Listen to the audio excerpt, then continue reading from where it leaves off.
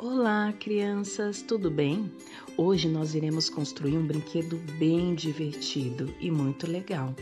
Só que para a gente construir esse brinquedo, nós vamos precisar da ajuda de um adulto, viu? Nós iremos utilizar algumas coisas que são perigosas para você. Vamos lá?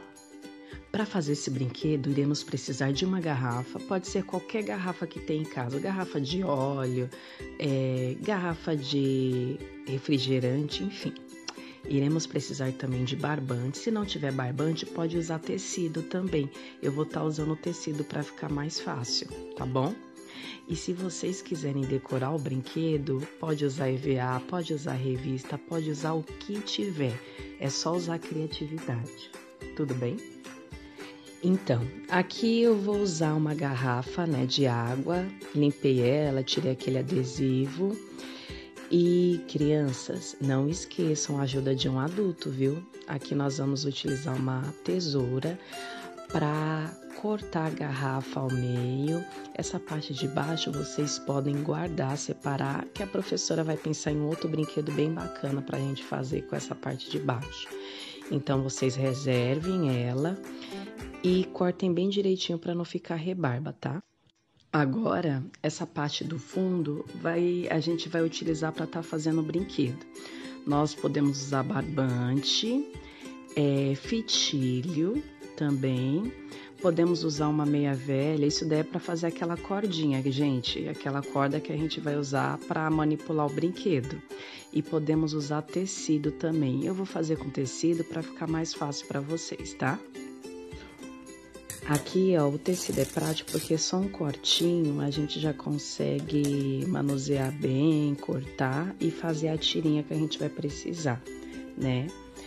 Aqui eu tô utilizando uma camiseta velha, né? Que ela não vai ser mais utilizada pra gente confeccionar o brinquedo. E assim, aqui eu fiz uma cordinha até grande, ó que bacana.